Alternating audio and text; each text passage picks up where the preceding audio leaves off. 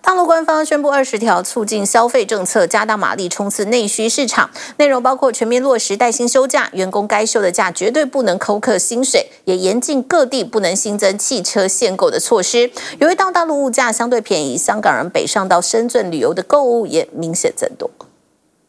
背个背包，带个简单行李，星期六日两天休假就到广东深圳逛逛。自从二月六号大陆和香港全面通关后，香港市民北上到深圳明显增多。马上要去吃东西，吃广东的点心，然后再去呃一些景点打卡。我们都有五个人住一个晚上。根据深圳边检总站数据，通关至今累计查验出入境旅客已经超过七千万人次。尤其现在正值暑。假旅游旺季，客流更多。近期我们的出入境客流那已经持续增长啊，日均已经达到了五十万啊。那么周末的话呢，可能周末的日均达到了就是呃六十万。那么最高的时候可以基本上接近七十万。通关的便利性迅速激发两地往来，最直接的就是在深圳口岸周边商场、餐厅等生意好的不得了。我觉得很很便宜，香港买一个头是四十块，最便宜的，又买了四个。日均的话大概。啊，客流能去到一万的人次，香港的顾客占比到百分之六十左右。超市挤满香港人，想吃生鲜现煮还要排队，看准消费物价较低，香港人就近到深圳抢购。不仅是买东西，连到牙医诊所、洗牙、植牙等生活性消费，也成了香港人到深圳目的。现在暑假期一天能接到七十多个的香港客。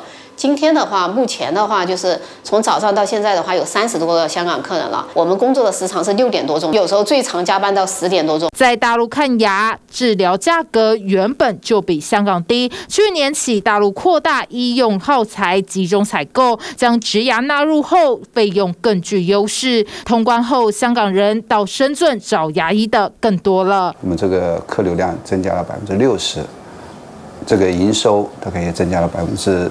四百和香港的区别呢？大概低端种植牙大概就差到三到四千。特别是高端种植牙，有的差了将近一万。除了看牙、美容美发，也因为在深圳的收费相较便宜，香港顾客订单增加。